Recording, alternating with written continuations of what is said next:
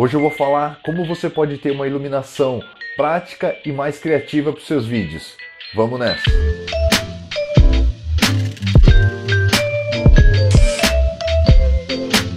Fala pessoal, tudo bem com vocês? Eu sou o Bruno e hoje eu vou falar para vocês uma forma que eu encontrei de deixar os meus vídeos um pouco mais criativo usando uma iluminação simples, prática e barata, né? Eu estou falando então da lâmpada Tashibra TKL RGB 9 watts. Não, não estamos sendo patrocinados pela Tashibra. Podia, né? Mas não. Ela tem controle remoto para fazer alteração de cores, de todas as funções que ela permite.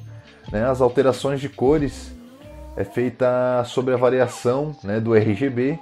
Tem o azul, o verde e o vermelho. E ela transita então é, nas variações de, dessas três cores, né? Do azul ele vai modificando a cor, do verde mesma forma e vermelho também. E ela tem ainda também a função de cor branca, é, que é bem forte por sinal. A temperatura de cor desse branco é 4000K, tem função de desliga e liga pelo controle remoto. E ela também tem algumas funções né, no, no próprio controle já pré-programada, tá? Para você escolher de acordo com, com a cena, com o vídeo que você quer fazer. Tem a função de flash, que ela vai ficar um segundo praticamente alterando entre todas as cores disponíveis. Tem a função strobe, que é ela vai passar por todas as cores também, fazendo essa frequência de, de como se fosse um strobe mesmo.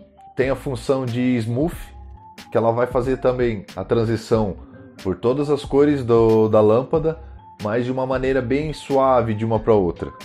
E tem a última opção que é o mode, que cada vez que você clicar nele, ele vai alterando a cor até você achar uma que te agrade, combine com a sua cena. No próprio controle também tem a função de dimmer, né? Onde você pode deixar a lâmpada mais fraca ou mais forte. Será que deu para ver aqui? Vamos ver no branco.